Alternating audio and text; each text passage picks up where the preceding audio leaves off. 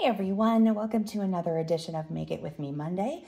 Uh, my apologies, last Monday ended up being uh, a, a, different situation uh, that took me out of town and I wasn't able to do live and the rest of my week has just gotten away from me. So you're gonna have a bonus uh, Make It Live With Me Monday here where I had already planned to take Memorial Day off and instead we're just gonna do what we were supposed to do last week Monday. All right, so starting out, I'm the ones I'm going to show on camera are going to be from the Round We Go bundle. Um, it has a stamp set and a set of dies, and they make these really fun uh, circle shapes, but then also, as you can see, these like 3D rosette medallions. And if you signed up um, for Stampin' Into Summer, you will be seeing some of this again and uh, making your own uh, with my make and take, so that'll be fun. And then the last ones I'm showing are gonna be from Labeled with Love. Now this is kind of a unique bundle collection. It's on page 58 and you have a choice with this bundle. You can either get the stamp set with a punch or you can get a stamp set with dies and you will get three of the same identical die, just like that. Or you can get it with a punch now, the neat part is that these are also sold separately. So you can bundle one, and then for the extra $23, you can go ahead and get the other, and then you have both options at your fingertips. All right, let me get those out of the way here. Um, I realize I'm up at my our lake house for the weekend. We're enjoying, well, we enjoyed one nice day. the rest of it has been a little bit rainy, um, but Zach got out on the boat and that made him quite, quite happy. Um, I realized though, as when I came up here, I'd forgotten to bring my Round We Go stamp set. So the phrase I'm going to show on camera is actually coming from Labeled with Love. I'm going to be using this happy birthday stamp. Okay. So here's what we need to get make our project tonight. You need to have a piece of neutral cardstock that is four and a quarter by 11. I have uh, thick basic white and you're going to score that at five and a half, which is basically in the middle. And then you want to have a circle that's approximately two and a half inches. And I said circle because it's easy. You guys probably have dies or punches that can make that shape for you. If you want to make that any other kind of shape, just keep it in about that two to two and a half inch size. You can use a square, you can use a die cut, you could use um, a focal point image of anything that you want, but that's about the size that you want it to be. And then a piece of designer series paper that's three by five and a quarter. I am taking a piece from the Full of Life designer series paper. Um, it's my new favorite and go-to in this catalog. Such bright colors, so much fun, uh, great patterns. I love using this one. Then you need a, piece of cardstock that's light enough to stamp on. That is one and a quarter by four and a quarter. We're gonna be using it horizontally and you want your phrase to be about an inch and a half long because your focal point or your circle is gonna be covering up some of that as well. Uh, I have crushed curry and then you need a rectangle that's two and a quarter by three and a quarter, and you can decide if you want a second piece of designer series paper or a second piece of cardstock. I have blueberry bushel cardstock here for my second piece. And then some of my other samples use a combination of the DSP and the cardstock, so you'll see some of that in my samples. All right, let's go ahead and get started. Uh, I have some old school supplies up here, so I'm gonna have to use my mono adhesive. so it's been a while since you've probably heard that sound uh, of uh, when you're stamping. Okay, so here we go. We're gonna make, um, you're gonna decorate up your circle. So I'm gonna take my crushed curry ink and I'm gonna take this, it's almost daisy-like except that it definitely have, has points. And I'm gonna go ahead and put that down here.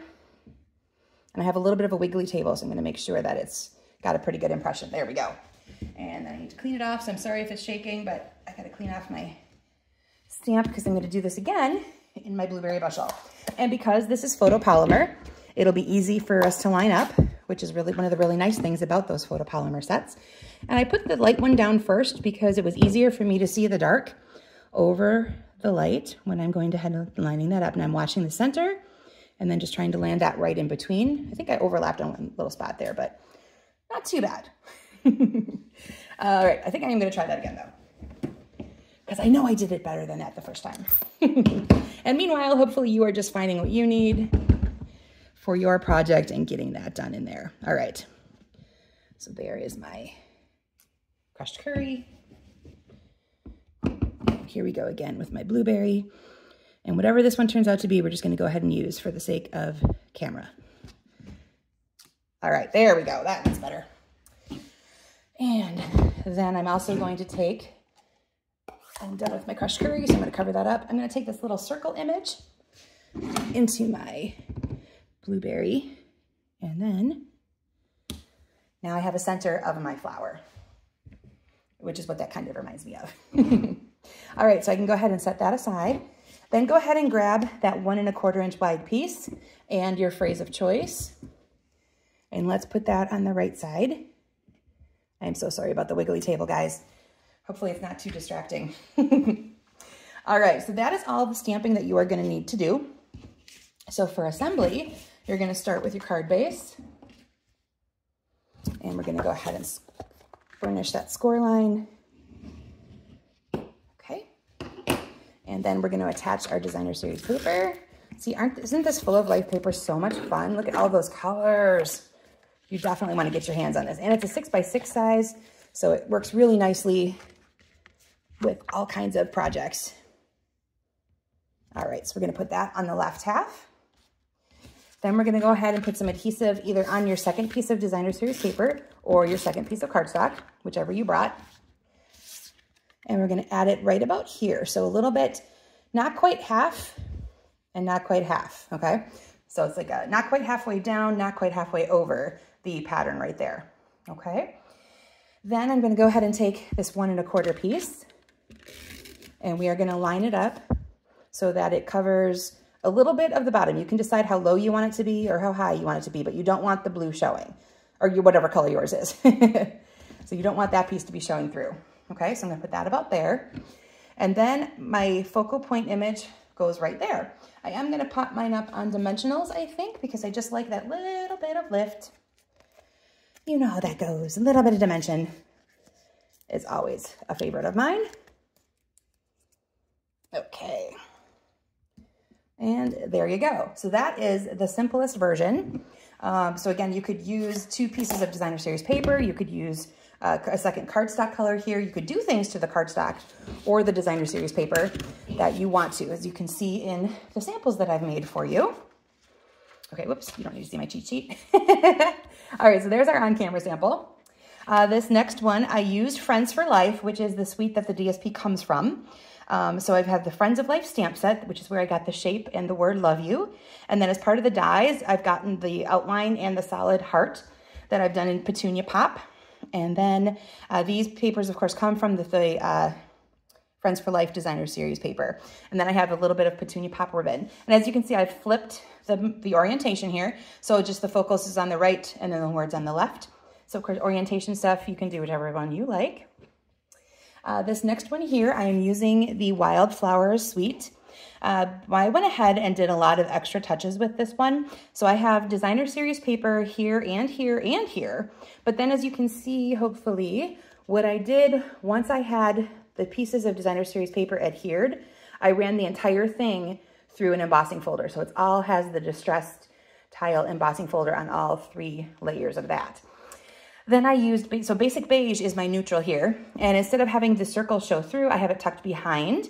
And I've added some of those little butterflies and a little bit of baker's twine. And then I also added just a little bit of dot doodling with my marker.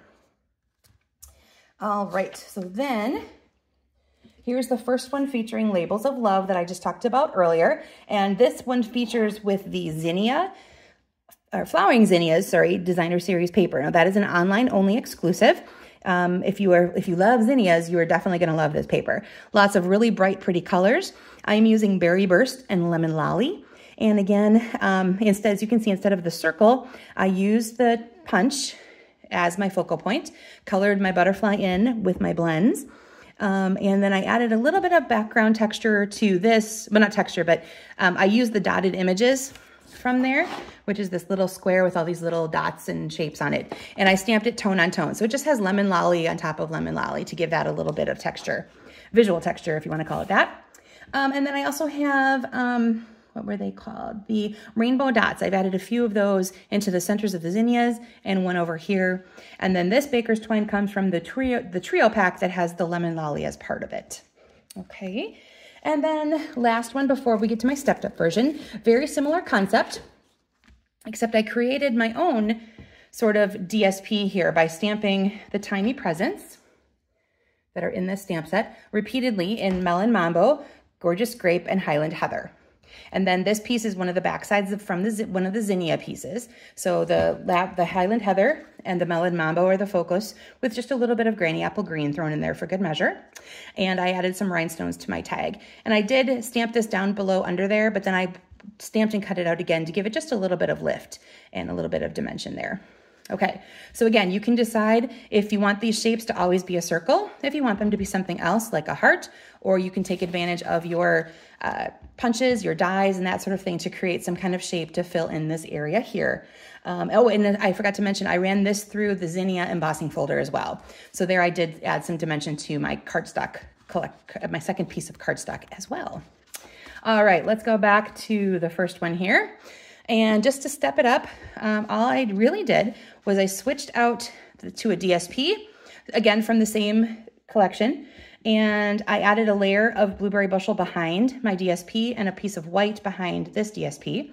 And then I took this and ran it through the uh, and Cut and Emboss machine and die cut this piece out instead of just having it be a part of my circle. And then and the, for the center part, I did die cut that out of blueberry bushel and I added just a little touch of Wink of Stella to make it really pretty and cute. So that's basically the difference there for stepping up this imagery here. You can decide um, which orientation you want to go with and what color combinations or combination of paper, DSP, etc. Um, it's a great way to use up basic parts. Um, so like I said, this paper is six by six, so you just cut it in half and then cut a little bit off and you get your three by five and a quarter and you can get two of them out of one sheet so you can easily duplicate this layout and make two at a time very, very easily.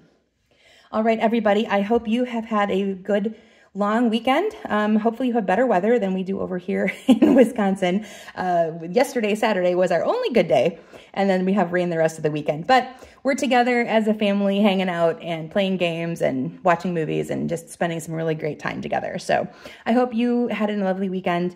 Um, my gratitude goes out to those who um, have given of themselves and the reason we are focusing on Memorial Day in the first place.